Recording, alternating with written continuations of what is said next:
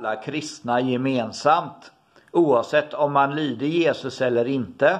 Jo, alla kristna kallar Jesus för sin Herre. Men Jesus säger i Matteus 7.21 Inte varje person som kallar mig för Herre, Herre kommer komma in i himmelriket utan den som gör min himmelske faders vilja.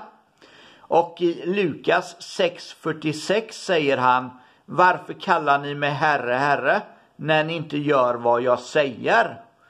Alla kristna, de ser Jesus som sin Herre oavsett om de är ljumna eller om de är varma för Herren och gör vad, precis vad eh, Jesus befaller en att göra. Men de kallar han för Herre. Det är, har de gemensamt. Men bara för man kallar Jesus för Herre och tror att han är Guds son och eh, Gud i köttet och eh, så, så betyder inte det att man kommer till himlen utan man måste lyda honom.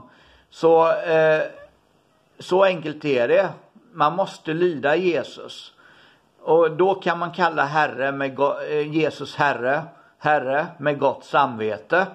För som sagt, inte varje person som kallar Jesus för Herre, Herre kommer in i himmelriket utan den som gör eh, Eh, Jesus faders vilja i himlen eh, kommer komma till himlen. Hej!